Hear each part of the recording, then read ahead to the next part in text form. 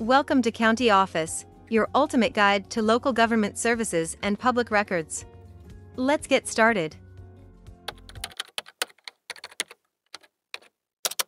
How to join the Army Corps of Engineers. Are you ready to serve your country and make a difference in the world? Joining the Army Corps of Engineers might be the perfect fit for you. The Army Corps of Engineers is a branch of the United States Army responsible for engineering services, including construction, design, and maintenance of infrastructure.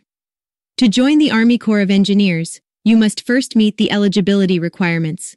You must be a U.S. citizen, between the ages of 17, 34, and have a high school diploma or equivalent.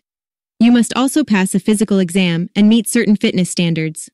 Once you meet the eligibility requirements, you can apply to join the Army Corps of Engineers. The application process includes taking the Armed Services Vocational Aptitude Battery, ASVAB test, which assesses your skills and abilities.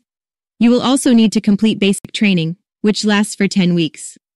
After completing basic training, you can receive additional training specific to the Army Corps of Engineers. This training includes learning about engineering principles, surveying, and construction techniques. You can also specialize in areas such as environmental engineering or geotechnical engineering. Joining the Army Corps of Engineers is a great way to serve your country while gaining valuable skills and experience. If you're interested in learning more about joining the Army Corps of Engineers, check out the helpful resources below.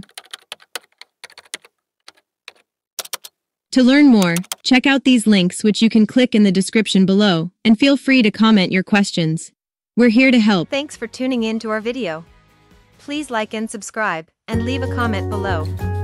See you in the next video.